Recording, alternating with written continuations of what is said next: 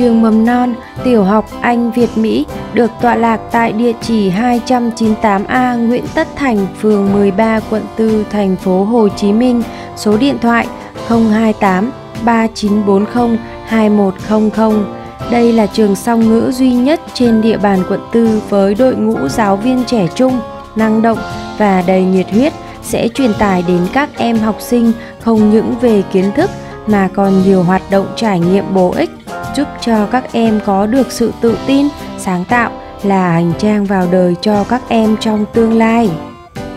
Bên cạnh đó, cơ sở vật chất của nhà trường hiện đại với đầy đủ tiện nghi thì mỗi phòng học được bày trí thêm một bảng ghi chú. Tại đây, quý thầy cô giáo không những ghi chú những nội dung cần ghi nhớ và thực hiện cho học sinh mà còn trang trí nhiều màu sắc cùng với các chủ đề sinh động, đẹp mắt. Tại video này, chủ kênh muốn giới thiệu tới quý thầy cô nào quan tâm về cách trang trí bảng ghi nhớ ở mỗi lớp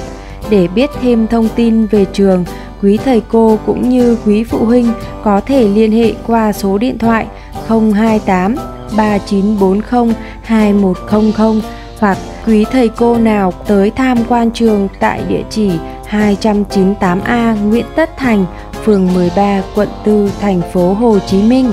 Và sau đây, xin mời quý thầy cô cùng quý phụ huynh quan sát các em học sinh tham gia một trò chơi nhỏ trong giờ thể dục cuối năm nhé.